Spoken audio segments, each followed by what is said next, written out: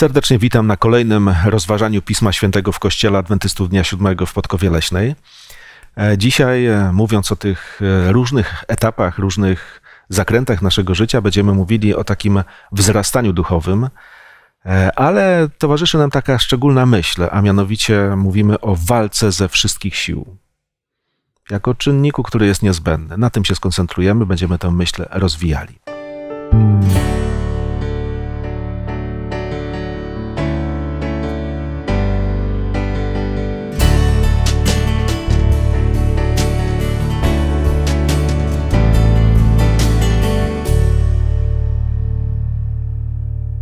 Razem ze mną e, w rozważaniu Bożego Słowa dzisiaj biorą udział Małgosia, Ewa, Grzegorz, a ja na imię mam Mariusz. Proponuję, żebyśmy pomodlili się przed czytaniem Pisma Świętego i do tej pierwszej modlitwy bardzo proszę Małgosię.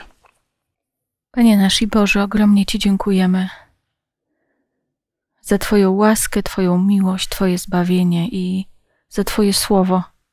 I dziękujemy Ci, że możemy to słowo rozważać. I bardzo Cię prosimy o prowadzenie Ducha Świętego. Prowadź nas, Boże, we wszystkim, co będziemy mówić, i prowadź tych, którzy słuchają, abyśmy wszyscy dobrze zrozumieli Twoje słowo i aby ono zmieniało nasze życie. Amen. Amen. Kiedy padają takie słowa, że mamy walczyć i to ze wszystkich sił, no to wyobrażamy sobie takie pełne zaangażowanie, pełną mobilizację. Nie mówimy oczywiście tutaj o jakiejś takiej walce fizycznej, mówimy bardziej o walce duchowej, ale to też się z tym, z tym wiąże. Będziemy dzisiaj mówili o takim stopniu zaangażowania. Nie tylko człowieka, ale i Boga w to, żebyśmy my jako ludzie mogli w tych doświadczeniach, które nas spotykają w życiu, jakoś dojrzewać, dorastać, rozwijać się. E, No i sam tytuł narzuca nam sposób myślenia. To nie jest zabawa. To nie są żarty. Ale moi drodzy, będziemy mówili o konkretnych czynnikach, które temu mogą służyć. Mm, e, Na pewno zaczęliśmy nasze wspólne studia Biblii w tym tygodniu od myślenia na temat e, możliwości, jakie stwarza nam w życiu Duch Święty. Na co możemy liczyć, kiedy dowiadujemy się o tej szczególnej obietnicy Jezusa Chrystusa, darze, który miał przyjść i przyszedł na tę ziemię w osobie Ducha Świętego? Może ja odczytam z Ewangelii Jana 16 roz, z 16 rozdziału, werset 8. A gdy On przyjdzie, przekona świat o grzechu, o sprawiedliwości i o sądzie, mowa o Duchu Świętym. I werset 13. Lecz gdy przyjdzie On, Duch Prawdy, wprowadzi was we wszelką prawdę. Mówimy o walce ze wszystkich sił, o takim zaangażowaniu, ale mm, to byłoby bardzo trudne. Mamy tutaj obietnicę, że możemy liczyć na Boga w tej kwestii. Ducha Świętego, który jest w szczególny sposób dany po odejściu Jezusa Chrystusa tym, którzy podążają Jego śladem. Nie jesteśmy zdani tylko na własne siły, ale na szczególną pomoc, wsparcie, działanie Ducha Świętego. Dziękuję bardzo. E, Czy w ogóle, jak myślimy o Duchu Świętym, o jego możliwościach, to widzicie jakieś granice? No myślę, że tak jak Bóg dla nas nie ma granic, taki Duch Święty nie ma granic. Duch Święty, który jest Bogiem. E, A granice możemy tylko wyznaczyć przez nasz umysł i przez wyobraźnię, bo pewnych rzeczy nawet nie możemy sobie wyobrazić. Nie wiem jak was, ale mnie czasami Bóg w życiu naprawdę zaskakuje. Czasami e, rozwiązania czy wsparcie, pomoc, jakie daje, a czasem doświadczenia, do głowy by mi nie przyszło, że jest to możliwe. E, A największe cuda, jakie Duch Święty sprawia, to są cuda nawrócenia. I jak patrzę na ludzi, którzy się e, nawracają, ludzi takich, po których ja bym się w życiu nie spodziewała, że się nawrócą, to dla mnie to jest coś, co pokazuje mi właśnie tą, tą wszechmoc Boga. I to mi pokazuje, że granic nie ma. No, mówimy o tym, że Bóg rzeczywiście w swoim działaniu jest taki, że wręcz nas zaskakuje. To normalne. Ale jakie granice jednak mogą się pojawić na tym, żeby On mógł w moim, Twoim życiu e, robić to, co chce? To granice naszej wiary i zaufania. Więc nie tylko wyobraźni. Mówimy tutaj o naszych decyzjach, drogach, które obieramy, i są takie, na których ten Duch Święty ma bardzo ograniczone możliwości. Prawda? To jest rzecz e, niezmiernie ważna, bo, bo zobaczcie, są takie drogi, na których prosimy o Boże błogosławieństwo, ale tych rzeczy się nie da błogosławić po prostu, bo są złe, z gruntu złe. E, ale szczególnie myśleliśmy w tym tygodniu w kontekście tego Ducha Świętego, że jest to Duch prawdy. Co Was tak zainteresowało, szczególnie kiedy rozważaliście tę kwestię, że mamy do czynienia, mamy wsparcie w osobie Ducha Świętego, który jest Duchem prawdy? To znaczy na co? Na pewno pojawiają się myśli, wypowiedzi Pana Jezusa przed zakończeniem Jego misji, gdy powiedział: Lepiej dla Was, żebym ja odszedł. E, przyślę Wam pocieszyciela. Jest mowa o przypomnieniu wszystkich słów, których, których nauczał Jezus. No i ta sprawiedliwość, sąd i grzech e, Bóg, Bóg e, w osobie Ducha Świętego nie ma za zadanie jedynie wytykać nam błędów, e, wskazywać na nasze słabości. E, jest to również wskazanie drogi, a więc kierunku, aby naprawić te problemy, te błędy, aby przybliżać się do Pana Boga, aby osiągnąć cel, czyli zbawienie dusz, aby, no, można powiedzieć, dojść przez to życie jako tacy ludzie pełni Chrystusa wypełnieni, wypełnieni w naszych sercach, ale również głoszący taką dobrą nowinę. E, ja może uzupełnię te, te wersety również pewnym fragmentem z księgi Izajasza z 48 rozdziału, według przekładu Ewangelicznego Instytutu Biblijnego. No i te słowa jakby również wskazują na to działanie e, Ducha, Ducha Bożego. Od wiersza 16 począwszy po 18. Zbliżcie się do mnie, słuchajcie tego, nigdy nie głosiłem w ukryciu od czasu, kiedy to się dzieje, ja jestem świadkiem zdarzeń. A teraz posłał mnie wszechmocny Pan oraz Jego Duch. Tak mówi Pan, Twój Odkupiciel, Święty Izraela. Ja, Pan, Twój Bóg, uczę Cię tego, co zapewni Ci korzyść. Prowadzę Cię drogą, po której masz iść. Gdybyś wcześniej zważał na moje przykazania, Twój pokój byłby jak rzeka, a Twoja sprawiedliwość niczym morskie fale. Z jednej strony Duch Święty, Duch Prawdy utrzymuje nas e, na tej dobrej drodze, ale gdy zbłądzimy, znowu stara się uświadomić, że czegoś nam zabrakło w życiu i próbuje nas wprowadzić znowu w tą atmosferę czy w sferę działania Pana Boga. W jaki sposób my możemy wchodzić w kolizję z tym duchem prawdy? Wiecie, bo tutaj mówiłeś o tym, że coś tam w tym Izraelu nie, za, nie zadziałało. My nawet w Biblii czytamy o tym, że czasami człowiek Ducha Świętego zasmuca. Już nie mówię okłamuje, co też jest napisane. A więc czasami to nie zawsze tak jest, że ten Duch Święty tak się mną zainteresuje i, i wszystko się zaczyna dobrze układać. Kiedy spotykamy się z tym Duchem Prawdy, co może stać na przeszkodzie, żeby rzeczywiście w pełni skorzystać z tego, co On może mi dać? Jeżeli mówimy o prawdzie, to przede wszystkim chyba prawdzie o nas samych. I tutaj Bóg jest y, w stanie nam otworzyć nasze oczy, żebyśmy poznali, w jakim punkcie jesteśmy, punkcie życia. I mm, to, co Jezus powiedział, poznacie prawdę, a prawda was wyswobodzi. I Duch Święty stara się nas tak prowadzić, abyśmy przede wszystkim stanęli w takim miejscu, żebyśmy byli otwarci przed Panem Bogiem, żebyśmy my sami nie byli tą przeszkodą, do, do tego, aby Bóg mógł wejść w nasze życie. I ja jeszcze jeden werset z tego 16 rozdziału przeczytam, werset, to znaczy już czytałam, 13, e, ale jeszcze 14. Lecz gdy przyjdzie On Duch Prawdy, wprowadzi was we wszelką prawdę. A 14 mówi, On mnie uwielbi, gdyż z mego weźmie i wam oznajmi. Zobaczmy, jak wielka moc, siła jest dostępna nam od samego Pana Boga coś weźmie i nam oznajmi i wprowadzi we wszelką prawdę, jeżeli tylko nie będziemy oporni, jeżeli będziemy chcieli poznać prawdę o sobie. Pokorni i odważni, słuchajcie, zmierzyć się z samym sobą wymaga naprawdę wielkiej odwagi. Dowiadujesz się czegoś, co ci się nie podoba. Jeszcze ktoś ci o tym powie. I też może wewnętrzny opór się budzić. Natomiast prawda jest taka, że kiedy wiem o sobie, że jestem taki czy inny, a to mnie nie doprowadzi do chęci zmiany, do skruchy na przykład. Nie wiem, co myślicie na temat skruchy, ale sądzę, że jest to pewna rzecz, która jest bardzo opornie przychodząca człowiekowi. Albo na przykład mówimy o tej prawdzie, która jest objawiona w Biblii, pokazuje nam Boga. Jest cudowny, naprawdę, bo tak go można poznać I nawet przyjmijmy, że jest to właśnie tak, nie jakiś wykoślawiony obraz Boga, ten prawdziwy, ale to wcale nie oznacza, że ja zaczynam w niego wierzyć. A jeszcze kolejny krok, że jestem mu posłuszny, to wcale nie jest oczywiste. A więc zobaczcie, jak mówimy o tym Duchu Świętym, który ma nieograniczone możliwości, to jest naprawdę fajne.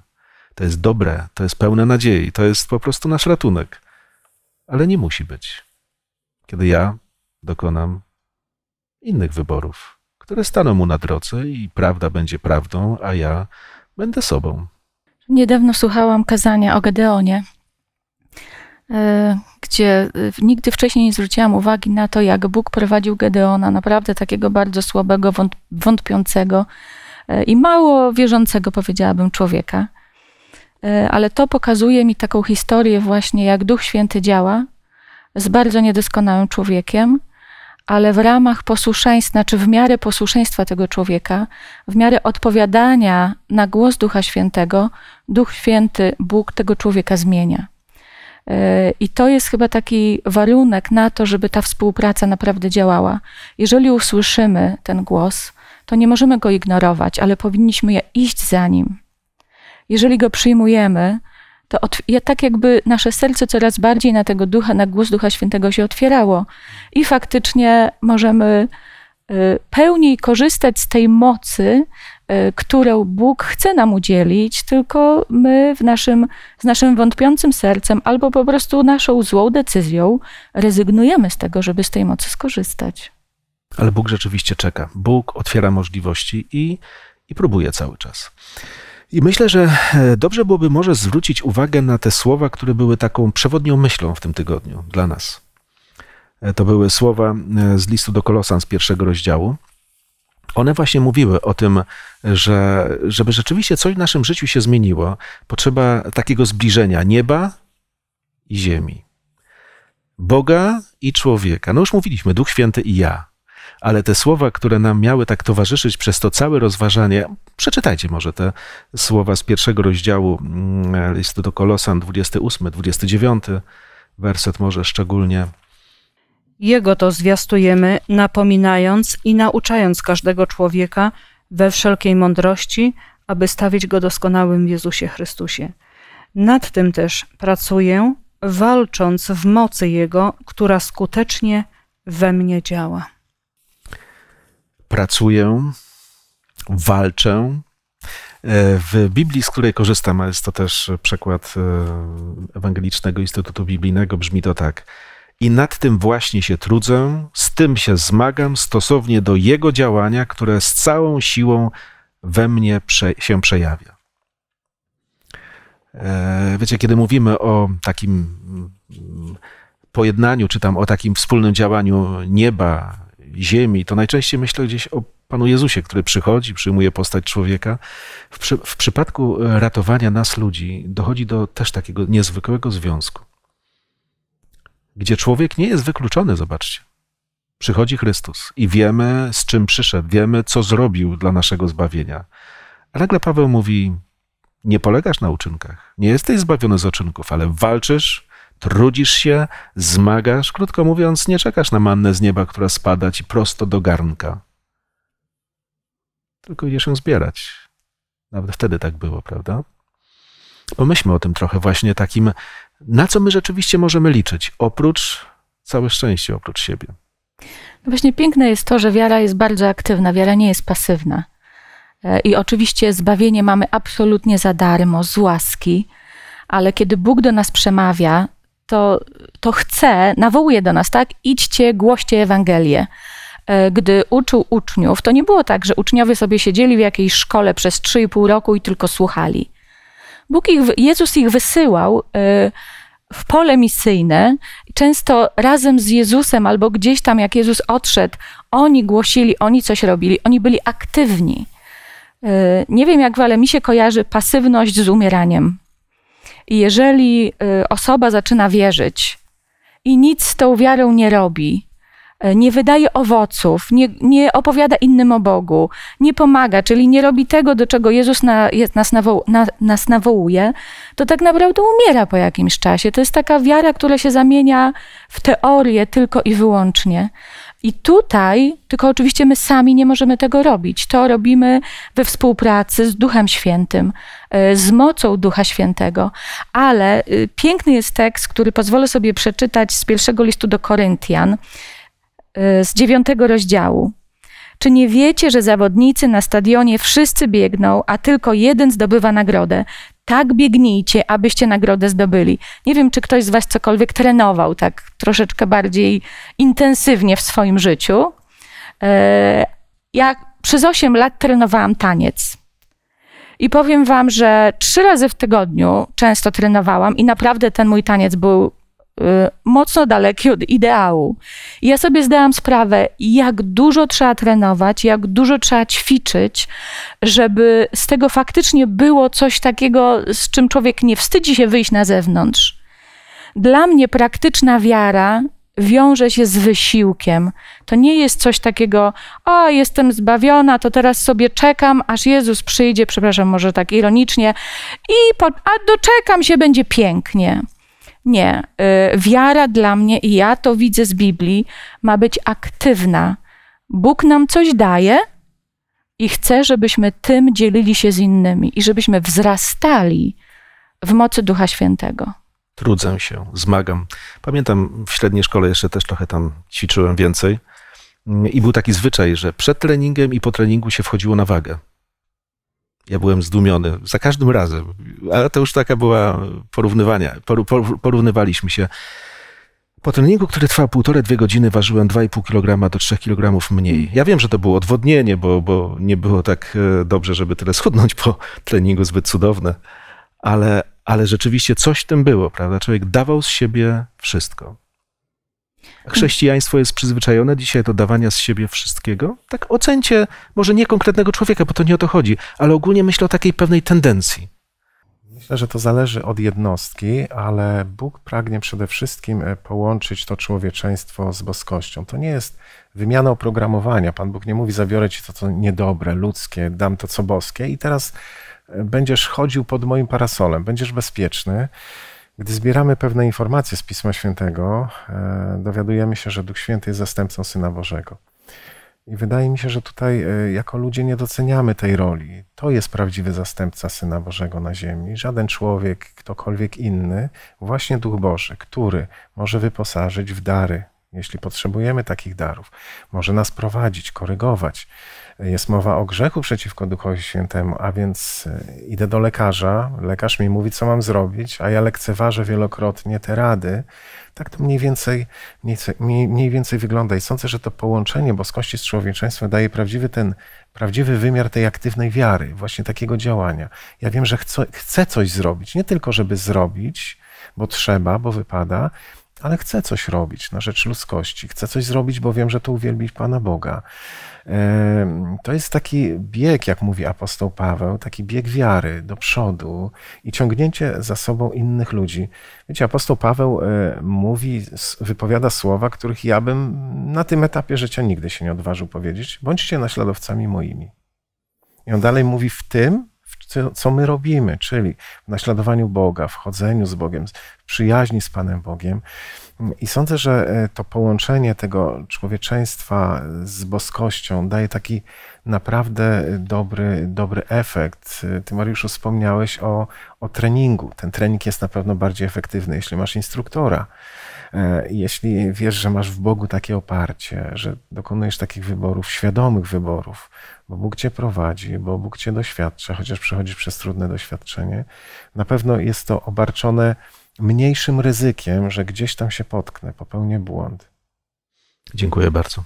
Jeżeli jeszcze można, przeczytam czwarty werset dwunastego rozdziału listu do Hebrajczyków. Wy nie opieraliście się jeszcze aż do krwi w walce przeciw grzechowi. Widzimy, jak to jest poważne, w jakim stopniu e, nasze zaangażowanie jest potrzebne. I niektórzy ludzie uważają, że wręcz nie wypada, to Pan Bóg ma działać. My, y, my ze, swojej, ze swojej strony nie możemy tutaj aż tak y, tyle wysiłku nosić, no bo otrzymaliśmy te wszystkie zapewnienia, że Pan Bóg będzie y, dla nas pewne rzeczy robił. ale tutaj wcale to, to nie jest oparte na tym, że my własnymi wysiłkami chcemy do czegoś dojść, ale bardzo ważna jest nasza postawa w życiu. Czy my czegoś tak naprawdę chcemy i chcemy w takim pełnym zaangażowaniu, tak jak tutaj, w walce aż do krwi przeciw grzechowi. No to jest niesamowite zaangażowanie. Potrzeba dyscypliny, potrzeba wysiłku mm, z naszej strony, a wtedy to, co, o czym mówiliśmy, ten duch prawdy, y, co zrobi? Weźmie z mojego i wam udzieli. I to dopiero jest to połączenie człowieczeństwa z boskością. Dokonujemy wyboru. Mówimy o wolnej woli, tak zwanej wolnej. Czasami zachowujemy się, jakbyśmy byli totalnymi niewolnikami, ale jednak mamy możliwość dokonania jakiegoś wyboru. Powiedzcie, w jakim sensie to może być dla nas pomoc, a w, jakim, w jakich sytuacjach jest to dla nas przekleństwo? Ta wolna wola. Wolna wola jest przekleństwem wtedy, jak y, musimy zdecydować y, na temat czegoś, co bardzo lubimy, a wiemy, że dla nas jest złe na przykład i jest związane z odpowiedzialnością. Bo gdybyśmy wolnej woli nie mieli, to byłoby bardzo wygodne i czasami jest, tak się zachowujemy, jak jakbyśmy mówili, to jakby to nie moja odpowiedzialność, to tak okoliczności sprawiły, nie no, co ja mogę. Natomiast Bóg dał, z wolną wolą dał nam umiejętność i prawo wyboru. A z prawem wyboru wiąże się ogromna odpowiedzialność. I dopóki wybory są dla nas łatwe i proste, to jest pięknie. Ale jeżeli przychodzi do na przykład rezygnacji z czegoś, co bardzo lubimy, albo z czegoś, czemu poświęcamy czas, a Bóg do nas gdzieś cichutko woła, może nie, a może chodź tutaj, może Biblię teraz poczytaj, yy, a może teraz chodź, pomóż komuś, a może idź i y, pomów o Bogu. Ale nie, bo ja to teraz to bym sobie mogła jakąś inną, może inną książkę poczytam, albo sobie poleżę, albo sobie pooglądam telewizję, czy cokolwiek innego. To są takie prozaiczne przykłady, ale codziennie, każdego dnia, każdy z nas podejmuje te wybory. Podejmujemy decyzje i na nikogo innego nie zrzucimy podjęcie naszych decyzji za każdą decyzję podjętą w naszym życiu jestem odpowiedzialna ja i każdy z nas. I to jest chyba bardzo trudne. A co powoduje w nas e, świadomość takich słów Bożych, które mówią: Podstępne jest serce ludzkie, zepsute. Któż może je poznać?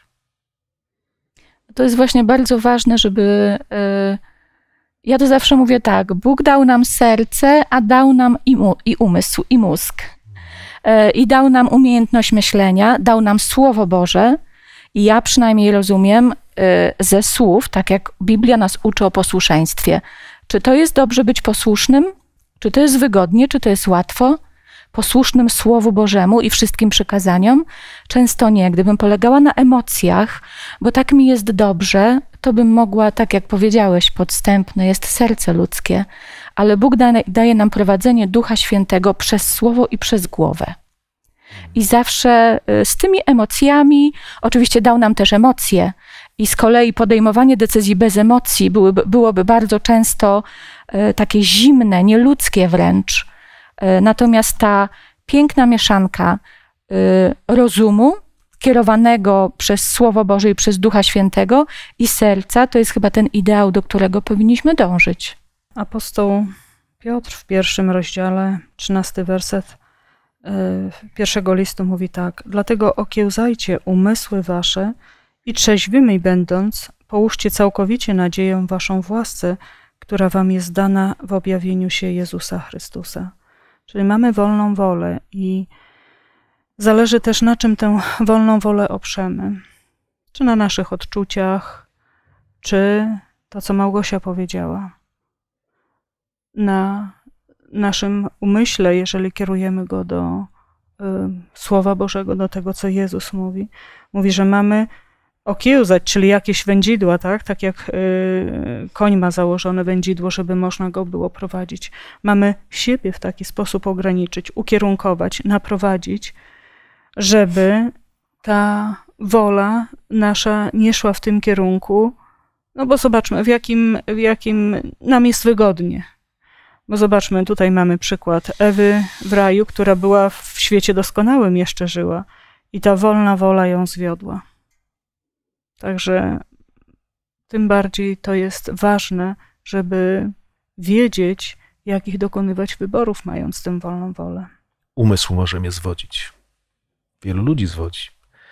Emocje mogą mnie zwodzić. Ja może podam Natomiast taki... ja tylko dodam jeszcze to, co Małgosiu mówiłaś, że, że mamy Boga, który przez Ducha Prawdy, ale przecież mamy Boga, który przez Słowo Boże, które jest prawdą, przez Jezusa Chrystusa, który jest prawdą, taką objawioną, wcieloną wręcz, e, mówi, co jest dobre, a co złe. I chodzi o to, że pewne rzeczy, o których myślę, które czuję, dobrze jest zweryfikować e, w tym dobrym źródle. E, To, co tutaj Ewo cytowałaś słowa z listu Piotra, w przekładzie tego Ewangelicznego Instytutu Biblijnego, Biblia mówi, dlatego uporządkujcie swoje myśli. Czyli może być nieład. Trzeba wprowadzić na pewien ład, pewien kierunek, no Boży, bo inaczej, no to załóżmy, no nie wiem, ktoś jest żonatym mężczyzną i nagle mówi, no ale ja się zakochałem, a w kim? No w innej kobiecie. Ale ja mam przekonanie, że to jest, że to, co było, było pomyłką, a to, co jest, to jest po prostu to prawdziwe szczęście, na które czekałem całe życie. I, i weź z tym dyskutuj. Inaczej niż przez pryzmat Bożego Słowa, które mówi, słuchaj, nawet nie myślę, że, że, że to twoja żona, z którą się pobrałeś kiedyś, że to jest pomyłka. Nawet tak nie myśl, bo to nie jest prawda. Tak mówi Bóg. Nie? Ale to trzeba zderzenia z tą prawdą znowu, która w pewnym momencie, podsycona różnymi emocjami, hormonami, co tam się jeszcze nie dzieje, e, no musi zostać zweryfikowane uporządkowanie umysłu. Także możemy być zdani rzeczywiście na porywy uczuć, a, być może na jakieś szarże naszego umysłu, któremu się wydaje, że pozjadaliśmy wszystkie rozumy i dokonujemy wyborów, na których się nie rozwiniemy, których się po prostu szybciej pogubimy. Ale idźmy dalej. I może tylko dwa proste przykłady, tak żeby pokazać, w jaki sposób umysł czy e, nasze emocje mogą nas zwodzić versus Biblia. No chociażby to, że Biblia mówi nie mścij się, pomsta do Boga należy. A my, ktoś nam taki ból zrobił, tak nas zranił, że w tej chęci pomsty trwamy, bo uważamy, czujemy, myślimy, że tak będzie sprawiedliwie. Druga, Bóg, y, Biblia mówi, nie gniewaj się, tak? Gniewajcie się, ale nie grzeszcie. Pogódźcie się albo pogódź się po drodze z drugim człowiekiem. Jeżeli ty czujesz taką nienawiść czy niechęć do drugiego człowieka, że nie jesteś w stanie e, z nim rozmawiać i twoje emocje ci podpowiadają, że tak powinno być, bo on cię skrzywdził, twój rozum ci podpowiada, że przecież tak jest sprawiedliwe, odpłacę mu tym samym, a Biblia mówi co innego.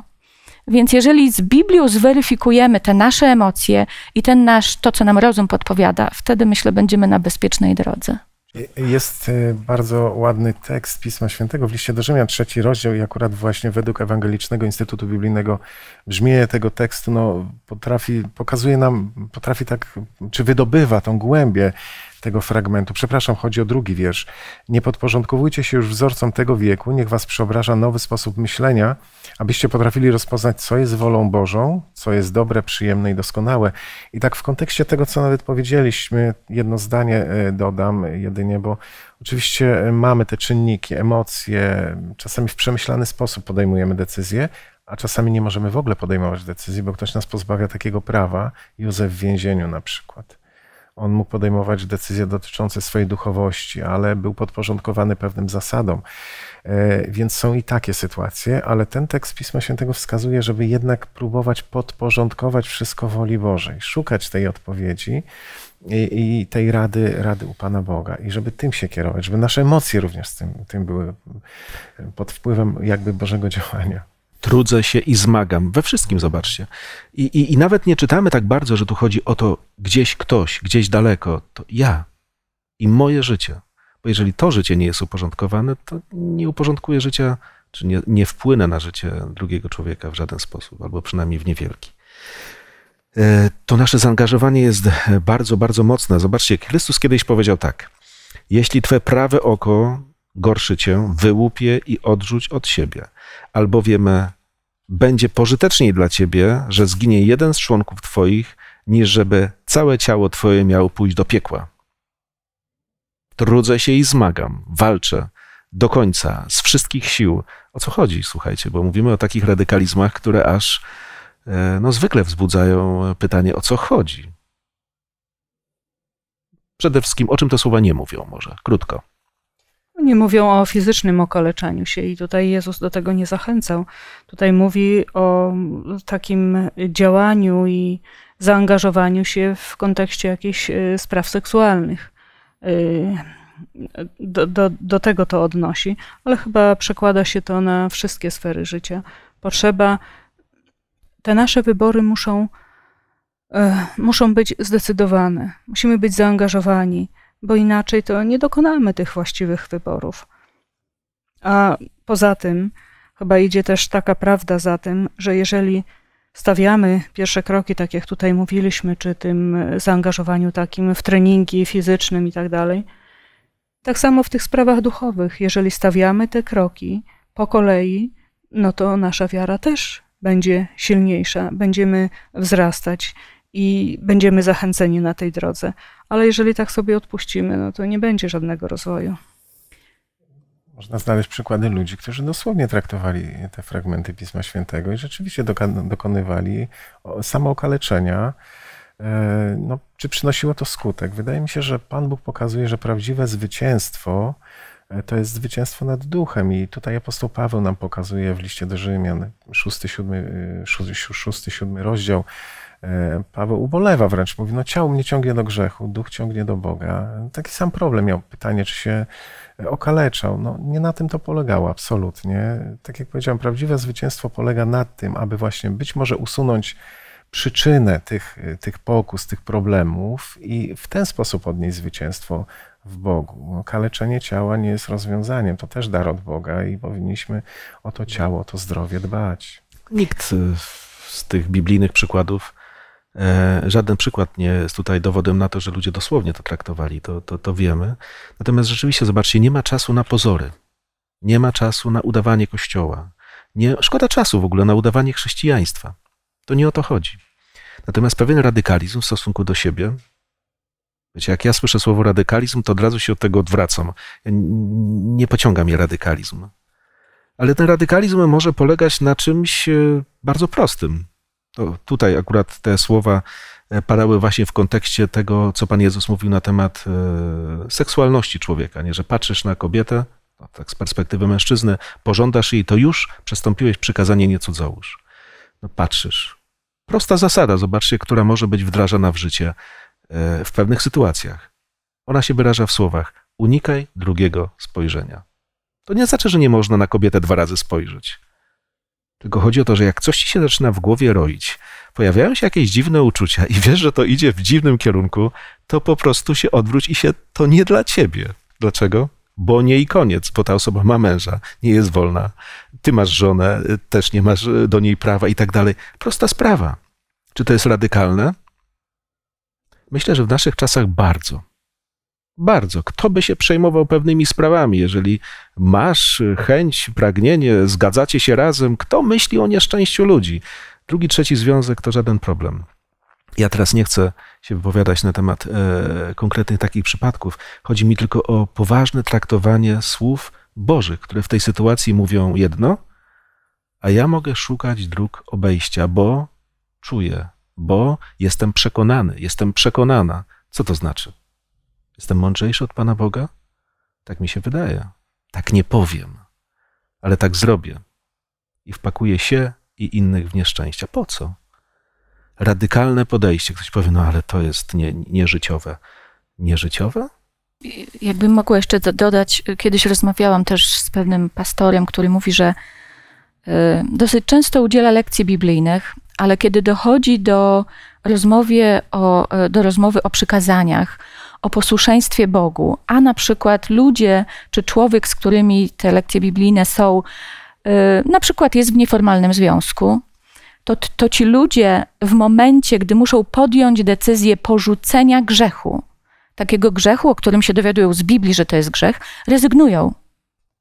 Bo czego, nie są, z czego rezygnują? Rezygnują z lekcji biblijnych. A bo nie są w stanie zrezygnować z pewnych przyjemnych rzeczy do których są przyzwyczajeni, do których już się nauczyli, że są złe, więc jeżeli zgodnie z Biblią to jest złe, to ja wybieram to moje życie, bo nie muszę nic zmieniać. I taka jest wiara, taki jest Bóg i taka jest Biblia, ja tak rozumiem. Z jednej strony bardzo wymagająca. Wymaga, Bóg wymaga posłuszeństwa. Z uczynków nie ma zbawienia, z łaski ale jak Bóg nas do siebie przyjmuje, to chce nas uczyć, chce nas zmieniać, po to, żebyśmy byli coraz bardziej do Niego podobni. Więc ja ten tekst z Ewangelii Mateusza rozumiem, to jest bardzo radykalny tekst. Jeżeli Duch Święty przez Biblię mówi ci, że coś w Twoim życiu nie jest zgodne z tym, co Bóg chce dla Ciebie i czego Cię uczy, to porzuć to. Jaka powinna być nasza odpowiedź? No jaka? Jak porzucić? No patrzysz, jesteś po prostu zafascynowany pięknem drugiej kobiety. Co spojrzysz, to normalnie pożądasz. I co można zrobić? Nie ma wyjścia? Nikt nic nie mówi? Nie ma wyjścia? No właśnie o to chodzi, że, że, że ja nie mówię, że to jest łatwe, zobaczcie, bo, bo to są pewne takie stany w różnym wieku, to z różnym nasileniem może przychodzić, ale z drugiej strony, jeżeli raz powiesz nie, drugi raz będzie trochę łatwiej. Trzeci raz jeszcze łatwiej. Czwarty raz, za każdym razem będzie łatwiej. Będzie można wybrać drogę, która już w końcu nie będzie jakąś wielką pokusą, ale chodzi o to, że jeżeli czytamy zmagam się, walczę, to wiecie, to nie są takie słowa na wyrost, że my się bawimy słowami, które pokazują radykalizm. One nie pokazują, one mówią o tym, że tak jest w życiu człowieka. No, ale to nie jest rodzaj próby, to nie jest na zasadzie spróbuję, Panie Boże, wyjdzie, to wyjdzie, nie wyjdzie, to nie wyjdzie, już nie będę tego próbował, nie, nie będę podejmował walki kolejnej. Walka to jest walka, taka, taka próba i, i dążenie do, do takiego przybliżenia się do Pana Boga właśnie na tym polega, że my próbujemy raz, drugi, trzeci, to co powiedziałeś, raz jest lepiej, raz jest trudniej. A jak jeżeli walczę i przegrywam? To co wtedy? No Trzeba właśnie. dalej próbować. Dla Pana Boga nie jest problemem, gdy zgrzeszymy. Problemem jest, gdy się nie podnosimy z tego mhm. grzechu i nie przychodzimy do Pana Boga z tym grzechem. I właśnie nie wylewamy serca. Mówimy, Panie Boże, zgrzeszyłem, nie chciałem tego, źle się stało. Pomóż mi następnym razem zwyciężyć. I, I właśnie na tym to polega. Walka o społeczność z Panem Bogiem. My nie walczymy tylko z grzechem, ale walczymy o społeczność z Bogiem, by w tym grzechu nie trwać, żeby wyrwać się temu grzechowi, tak? Podołać następnym razem. Właśnie Kolejna rzecz, zobaczcie, o której mówiliśmy, to była wytrwałość. Wytrwałość. A więc to nie jest to, że w pewnym momencie wiem, co jest dobre, co jest złe, no wyszło, to dobrze, nie wyszło, no trudno. Nie, właśnie. Wytrwałość w dążeniu do rzeczy dobrych. Wytrwałość w zmaganiu się z tym, co rzeczywiście jest przeszkodą e, moją, czy na drodze mojej do Boga. Ojej, słuchajcie, nazbierało się rzeczy, przy których można się zatrzymać i obstawać. Ja tak zbliżając się do końca przeczytam fragment takiej książki, mm, którą, której autorką jest e, Ellen White. I, i, I, zwróćcie uwagę na pewien sygnał. Znaczy, czytałem trochę jej książek, więc wiem, że ona jest bardzo daleka, w ogóle nie ma związku z jakimś uczynkowością, ze zbawieniem z uczynków, ale w pewnym momencie pisze tak. Aby otrzymać pomoc od Boga, Człowiek musi uświadomić sobie swoje słabości i braki, musi użyć swojego własnego rozumu, aby dokonać w sobie wielkiej zmiany, musi się zdobyć na gorliwą i wytrwałą modlitwę oraz wysiłek, musi odrzucić złe nawyki i zwyczaje. E, ja w tym cytacie pozakreślałem sobie słowa musi, musi, musi. Ja nie lubię, jak pada słowo musi. Ale z drugiej strony myślałem sobie, a jeżeli nie zrobię tego, to co? To po prostu stoję w miejscu i nic się w moim życiu nie zmienia. I Boże pragnienie wpływania na mnie ze swoją świadomością, prawda, różne inne cnoty, które mogą się pojawić, są po prostu teorią. Ja myślę, że to nie to, że nic się nie dzieje, dzieje się coraz gorzej. A, no tak. To jest to ryzyko. Ja jeszcze dodam z mojego doświadczenia, wiele, wiele jest grzechów, z którymi sobie nie mogłam dać rady i dalej sobie nie, nie, nie daję rady. E, ale jeden nawyk, który może to jest taki przykład, bo e, palenie papierosów. Wiele lat nie mogłam sobie dać z tym rady e, i, i modliłam się, i próbowałam, i rzucałam, i wracałam, i rzucałam, i wracałam do palenia. Zdarzało mi się nawet płakać z tego powodu. I naprawdę po wielu latach Bóg dał mi w końcu zwycięstwo. I powiem wam, że to doświadczenie, z jednej strony załamałam się absolutnie nad sobą i swoją wolną, i swoją silną wolą, bo jej po prostu nie mam, jak się okazało, ale z drugiej strony nauczyło mnie to jednego. Jeżeli chcemy coś porzucić i jeżeli się staramy, to Bóg nas nie zostawi w tym wysiłku. Bóg da nam zwycięstwo tylko trzeba, tak jak powiedziałeś o wytrwałości, wytrwale, wytrwale i jeszcze raz wytrwale. Więc jeżeli raz się nie uda, drugi raz się nie uda, ktoś by powiedział, a już dla niego nie ma szansy, a Bóg daje nam, dopóki żyjemy, Bóg daje nam szansę.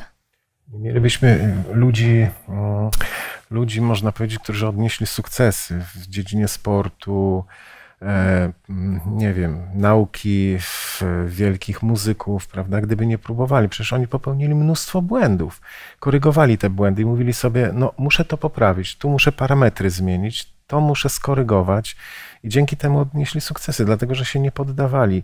Mamy wielkich polityków, ja pozwolę sobie wymienić jedną osobę, Abraham Lincoln, to jest taki mój ziemski autorytet, ale człowiek, który poniósł tyle porażek w życiu i, i właśnie na płaszczyźnie polityki, ale w życiu prywatnym nie poddawał się. Powiedział, że najgorsza rzecz to upaść i nie wstawać.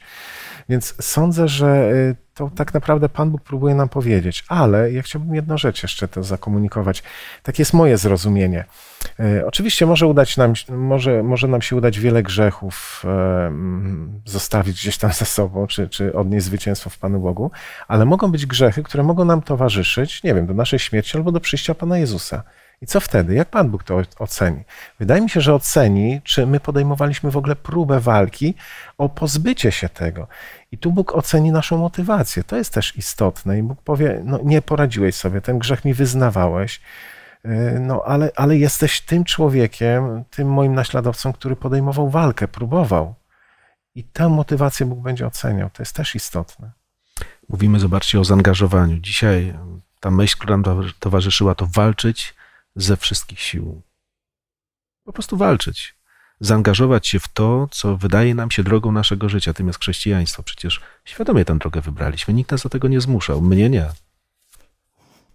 Więc dobrze byłoby się rzeczywiście zastanowić, jak to jest z tą dyscypliną moralną, umysłową w moim życiu, z wieloma wyborami, których dokonuję, bo jest to rzeczywiście takie biblijne. Bóg mówi: przyjrzyj się temu i tamtemu. E, to, co dobre, nie przychodzi łatwo. Wysiłek, we wszystko wkładamy wysiłek. A w sprawy wiary, gdybyśmy tego nie robili, to jakaś arogancja i w ogóle chyba przejaw głupoty, no bo pewnej konsekwencji nie może nam zabraknąć. Ale dałby Bóg, żebyśmy rzeczywiście walczyli z wszystkich sił, potrafili się angażować tak, jak należy. No i dziękuję Wam za Wasze zaangażowanie w to rozważanie. Od tego trzeba zacząć może. E, I niech nam się przysłuży. Nam wszystkim, moi drodzy. E, myślę, że jesteśmy e, zaangażowani w to, to, to rozważanie, to rozmyślanie nad drogą, którą pokazuje Pan Bóg. Drogą, która jest piękną drogą. Właśnie o to chodzi, że nie musimy myśleć o tym jako o trudnym, smutnym, męczącym, nie dającym satysfakcji zmaganiu. E, tak nie jest.